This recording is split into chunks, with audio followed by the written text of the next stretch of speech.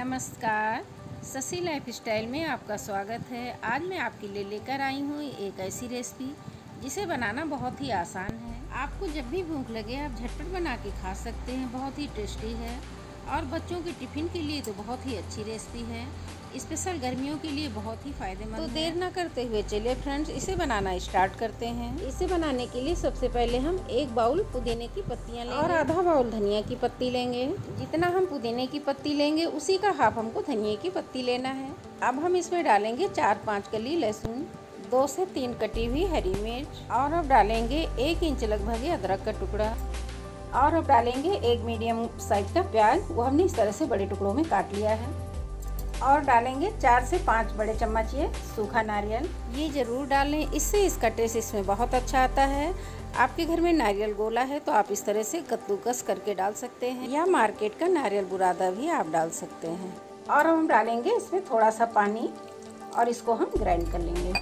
ये देखिए इसको हमने ग्राइंड कर लिया है कितना ये स्मूथ है और इसका कलर भी कितना अच्छा आया है। गैस ऑन करके कुकर रख दिया है। अब कुकर में हम डालेंगे दो बड़े चम्मच तेल। तेल गरम हो गया है। अब इसमें हम डालेंगे एक चम्मच जीरा, तेजपात और जो पुलाव में मसाले डालते हैं, बड़ी इलायची, छोटी इलायची, काली मिर्च, लौंग सब मसालों को हम डाल के एक बार खूब अच्छे से चला देंगे। ये देखिए मसाले हमारे भुन गए हैं। और अब इसमें हम डालेंगे मीडियम साइज़ का लच्छेदार कटा हुआ एक प्याज। और इन्हें भी हम थोड़ी देर के लिए हल्का सा भून लेंगे। ये देखिए प्याज हमारे हल्के से भुने हैं। इनका कलर ना चेंज होने पाए। अब इसमें हम डालेंगे आठ से दस काजू और काजू डालकर इन्हें भी हम हल्का सा फ्राई कर लेंगे। ये देखिए, प्याज हमारे भुन गए हैं। इन्हें हमें बहुत अधिक नहीं भूनना है। बस इनका हल्का सा कलर चेंज हो जाए। देखिए, हल्के से गुलाबी हो गए हैं। बस यहाँ तक हमको भूनना है। अब इसमें हम डाल देंगे एक बारीक कटा हुआ टमाटर। और गैस की फ्लेम को मीडियम रखेंगे और लगातार चलाते हुए टमाटर को हम थोड़ी देर के लिए भून लेंगे। टमाटर को हमें दो से तीन मिनट तक भूनना है। ये देखिए टमाटर हमारे भून गए हैं। ये देखिए टमाटर ने तेल छोड़ दिया है। जब इस तरह से तेल बाहर आ जाए तो समझ लीजिए कि टमाटर हमारे पक गए हैं। अब हम इसमें डाल देंगे सब्ज़ियाँ। ये हमारे पास हरी मटर है और ये आलू है। जो भी सब्ज़ी है आप डाल सकते हैं। गाजर भी डाल सकते हैं गोभी भी डाल सकते हैं। जो सब्ज़ियाँ आपको पसंद हो सारी सब्ज़ियाँ आप इसमें डाल सकते हैं। और अब इसमें हम डालेंगे पिसा हुआ पेस्ट। पेस्ट डालकर इसे हम लगातार चलाते हुए दो मिनट तक पकाएँगे, नहीं तो ये तले में लग सकता है। ये देखिए, मसाला हमारा भून रहा है। इसमें हम डालेंगे एक छोटा चम्मच गरम मसाला पाउडर। और इसे चलाते हुए हम मिला देंगे। अगर आप तीखा पसंद करते हैं तो यहाँ पर आप लाल मिर्च डाल सकते हैं। हमने हरी मिर्च डाली है, इसलिए हम लाल मिर्च का इस्तेमाल नहीं कर रहे हैं। ये देखिए, हमारा मसाला अच्छे से भून रहा है। लेकिन बीच बीच में आप इसे चलाते रहिए नहीं तो नीचे तले में लग सकता है। देखिए फ्रेंड्स ये कितना अच्छा लग रहा है देखने में। और ये खाने में तो बहुत ही टेस्टी होता है।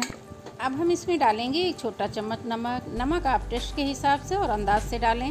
नमक डालकर एक बार हम इसे अच्छे से मिला देंगे। ये देखिए आप देख सकते हैं। मसाले हमारे भुन गए हैं। मसालों ने तेल छोड़ मसाले को भूनने में चार मिनट लगे हैं। अब इसमें हम डालेंगे एक कटोरी चावल। ये चावल हमने पहले से ही धो के रख लिया था और ये बासमती चावल है। बासमती चावल से ये बहुत ही टेस्टी बनता है। चावल डालकर इसे हम बहुत ही हल्के हाथ से इस तरह से मिलाएँगे कि चावल हमारे टूट ना जाएँ। चावल डालकर इसे भी हम एक दो मिनट के लिए भून लेंगे। बहुत ही केयरफुली से हम चलाएँगे जिससे ये हमारे चावल टूटे ना।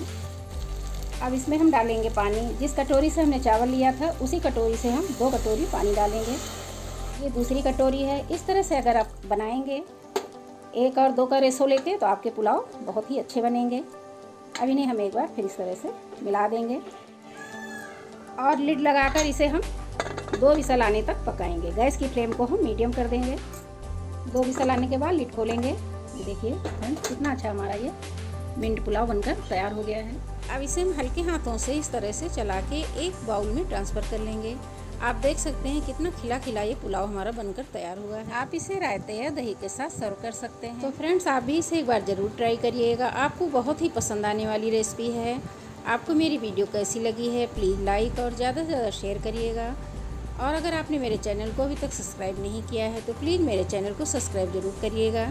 वीडियो देखने के लिए धन्यवाद। फिर मिलेंगे आपको अगली वीडियो के साथ।